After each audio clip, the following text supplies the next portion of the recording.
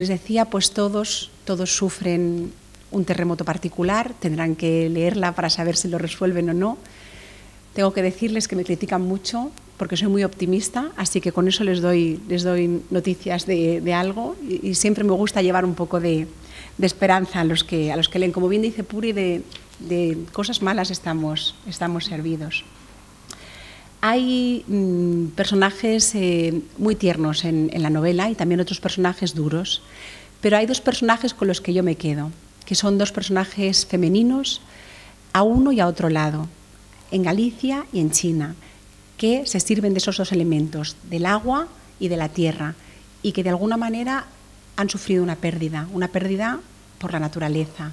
Son eh, Rosalía, la madre de Carlota, que es una maestra de primaria, y eh, Yumei, que es una mujer de la tribu Naxi, que es eh, la mujer que la acoge, que acoge a Carlota en su casa cuando ella llega a China.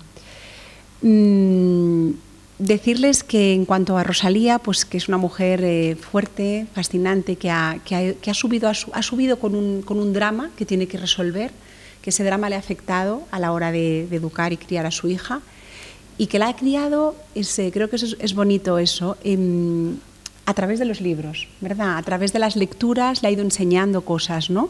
En vez de de una manera directa, sino a través de las lecturas. Es un personaje muy entrañable. Y por otro lado está Yumei, eh, me divertí muchísimo, muchísimo creando este personaje, tuve que documentarme mucho. Los Naxis son una, una tribu, una sociedad, eh, hasta hace muy poco una sociedad matriarcal de China.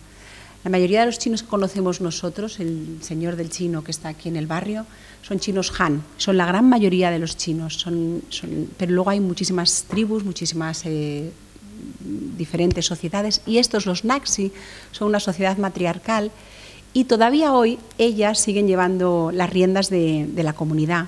No se casan, tienen un azu, algo así como un amigo al que invitan a dormir por la noche en su casa cuando ellas quieren, pero tiene que dejar la casa por la mañana.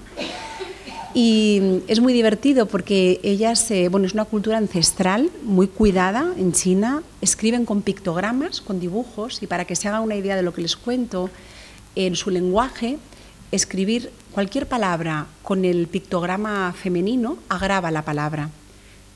Por ejemplo, para que me entiendan, si escriben roca, ay, perdón, si escriben piedra al lado del símbolo femenino, eso significa se lee roca. Si escriben piedra al lado del símbolo masculino, eso se lee guijarro. Es para que se hagan una idea de la fuerza que tienen ellas y esa, esa sociedad. Fue realmente pues muy, muy, muy entrañable hablar de eso. Eh, eso en cuanto a los, a los personajes. Mm, el proceso de documentación, cómo escribí este, este libro. Pues bien, mm, para escribir, no sé si hay alguien aquí que le guste escribir, hay que leer, hay que leer muchísimo. Pues, eh, eh, para poder escribir este libro, entre otras cosas, pues he leído mm, otro tipo de novelas como Balzac y la joven costurera china o Cisnes salvajes. Ha habido un proceso fuerte de documentación con textos antropológicos para hablar de los naxis. He tenido que hablar con arquitectos para pues, hablar sobre todo de la reconstrucción de la aldea, de los materiales, etc. Y como curiosidad les diré que durante un tiempo eh, mi web, la web Tulipanes de Fresa, fue atacada por, eh, eh, pues desde China, porque saben ustedes que son muy cerrados, no les gusta que se hable de ellos, y como yo para escribir indagué y me metí en, en páginas de activistas, algunos de ellos que han pasado por la cárcel o con familiares que están en la cárcel, pues imagino que pensaron, ¿quién es esta mujer que está indagando sobre esto? Pero la cosa no se preocupen, que no ha ido a, a mayores que han visto que solo, solo he escrito una, una novela. Bien, em, no sé, me gustaría eh, preguntarles, mm, bueno, quiero decirles una cosa. Quiero decirles que como ya llevamos la aldea yo un poco de recorrido, porque se publicó en, abril del 2018, ya he estado en ferias, ha estado en bibliotecas, ya he recibido pues, los comentarios de muchos lectores que, encuentran cada uno de ellos la historia que quieren dentro de esta novela. Mm, si me preguntan por, por la andaina, ¿se dice así? ¿Andaina? Por la andaina. Si me preguntan por el recorrido de la novela, por la andaina de la novela, Les diré que lo bonito de escribir cuando tú ya entregas eh, un libro al lector es que deja de ser tuyo y pertenece, como las ciudades al que las visita, el libro pertenece a quien lo lee. Y cada uno se queda con la historia que quiere. Entonces, es lo que les comentaba antes, que cada uno se quede con la historia que quiera encontrar, con la historia eh, real, de los hechos reales, aprenderá muchísimo, cosas muy interesantes de verdad, con la historia familiar, con la historia emocional, con la historia de amistad, pero sobre todo que se queden con una novela que les haga pasar un, buen rato y, que los haga felices y que tengan un, poco de espacio pues para, para vivir otras vidas, que es lo bonito de leer, la oportunidad de, vivir otras vidas que no son las nuestras. Me encantaría, sé que no se suele hacer, pero me encantaría y les dejo la puerta abierta a, que me pregunten lo que quieran y no sean tímidos, que yo también lo soy, ¿eh? y miren, aquí estoy hablando y casi no he mirado los papeles, ¿eh? con lo cual estoy contenta.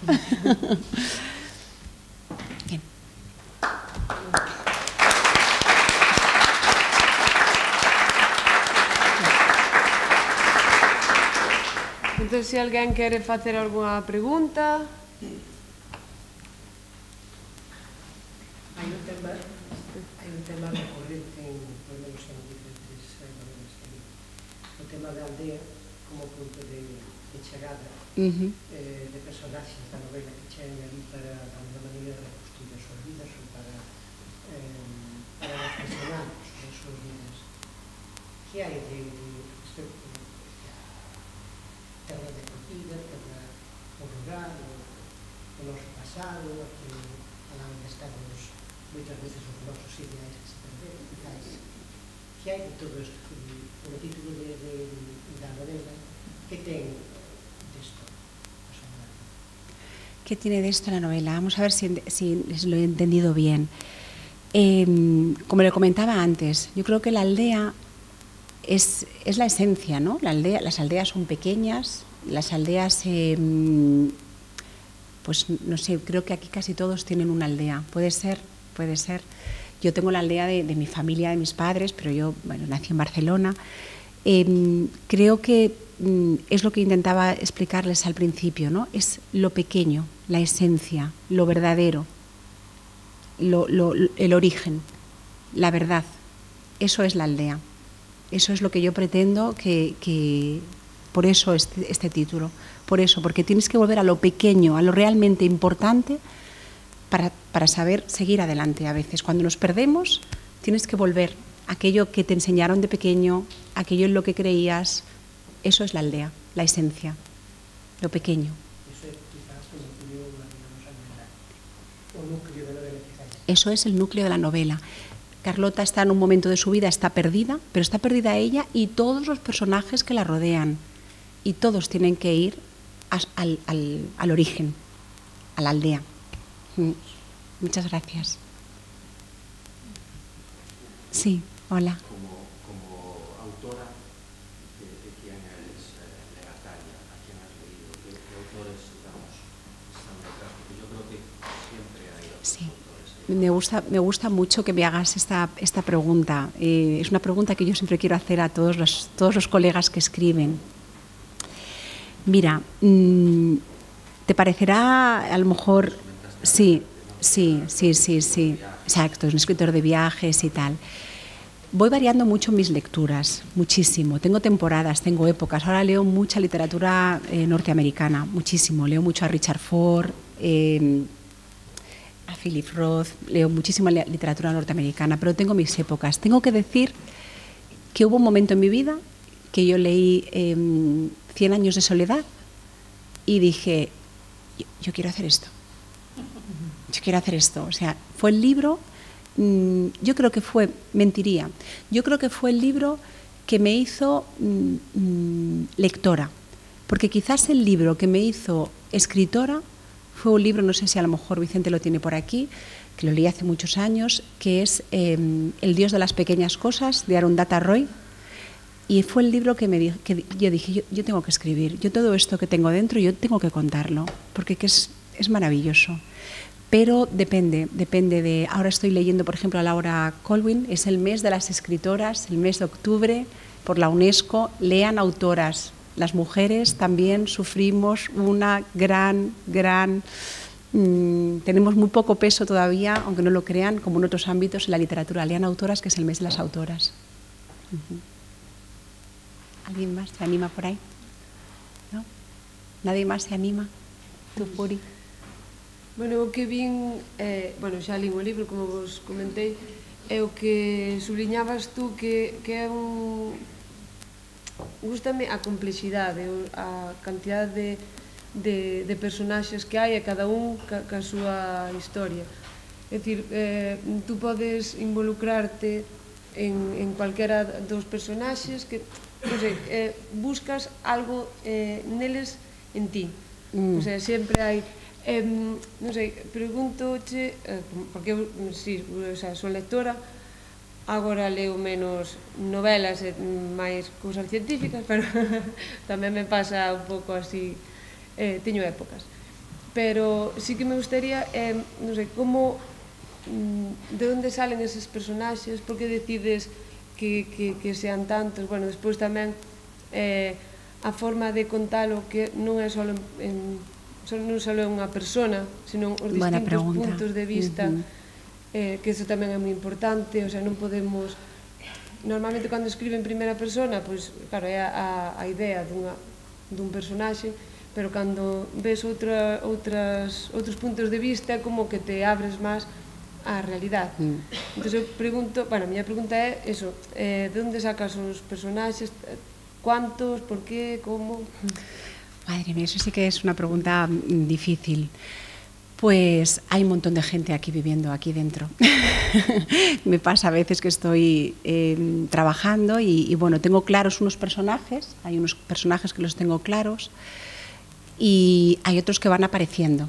Eh, siempre digo, bueno, no lo digo yo, mmm, se dice que hay escritores de, mapa y hay escritores de brújula, ¿no?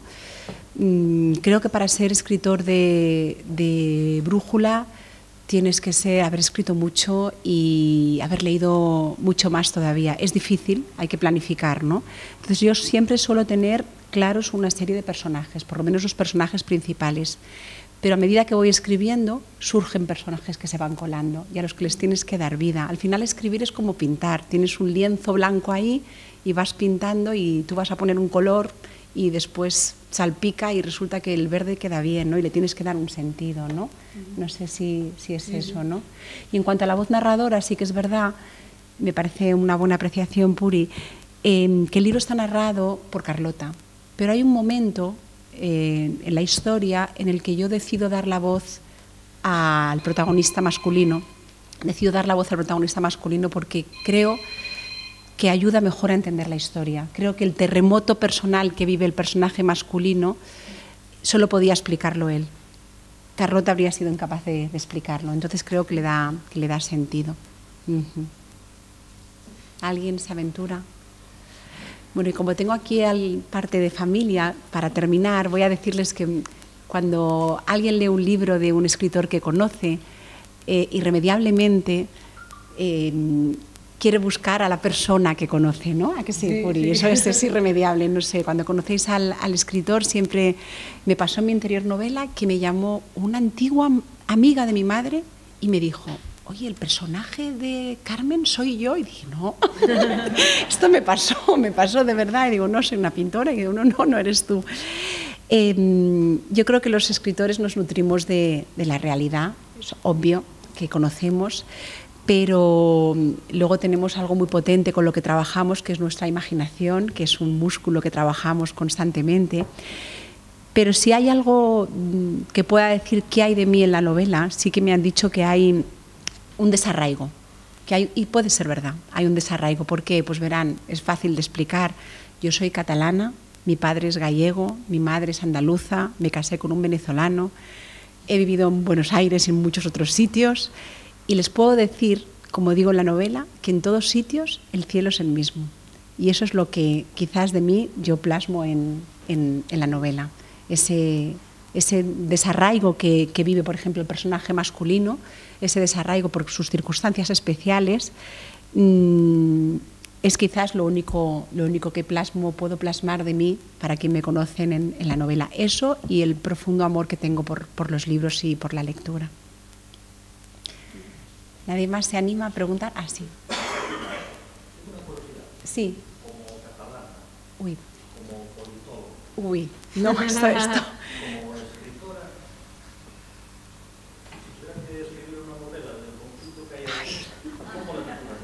Creo... Solo un título, así, breve, título. Bueno, eh, yo creo...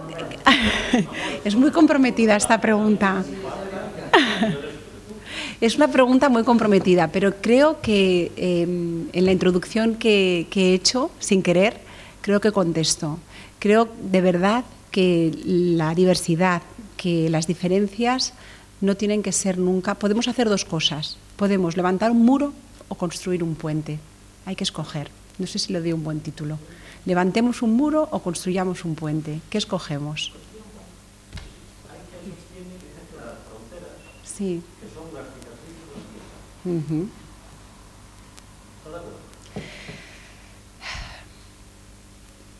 Pues, eh, como le decía, he vivido en muchos sitios y tengo muchas no tengo raíces ya. Creo que cuando uno se despoja, mmm, se despoja de las fronteras, cuando uno realmente se despoja de las fronteras, se convierte en un individuo libre. No sé si le respondo. Nada. ¿Sí? ¿Nadie más? Pues ha sido de verdad un, un, placer estar aquí y muchísimas gracias a todos de verdad por su, por su asistencia. Recuérdenlo, recuerden venir a la biblioteca, por favor. Lean, vengan a la biblioteca, tienen, estoy fascinada. Desde luego yo cada vez que vuelva voy a venir aquí a visitar a Vicente, seguro, seguro que sí. Muchísimas gracias por estar aquí, por su tiempo.